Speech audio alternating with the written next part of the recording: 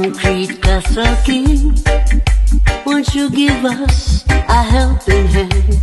Concrete Castle King, I hope you will understand we suffering.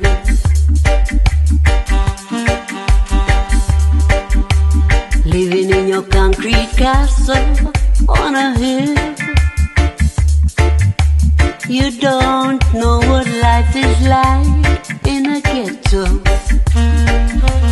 Living in a two by four, no place to walk around. While you're in your castle